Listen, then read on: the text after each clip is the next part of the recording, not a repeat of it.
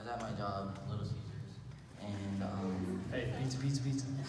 It's good stuff. That is not a valley for me. That's a hill every time. Go ahead. so I was just at my job and we were getting our schedule, and they wanted me to work literally the entire week, and so I was just not up to that, and I had uh, asked God to like give me like something good to come out of this, and then I just had like an urge that I should just straight up quit. It's biblical, guys. It's totally. So that was my ping from Jesus. I felt like. So I quit.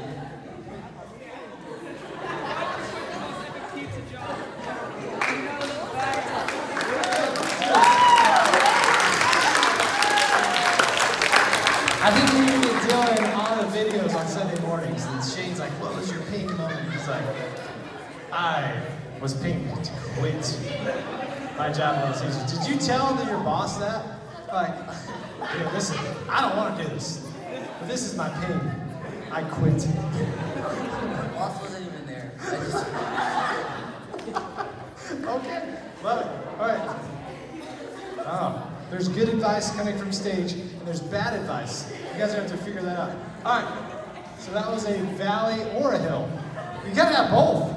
well, it was a valley, but now it turned into a hill because now I get to hang out with my friends a lot. You get to be here. You know what I like about Dylan is he came up to me. He's a senior this year, and I've really been on you seniors, right?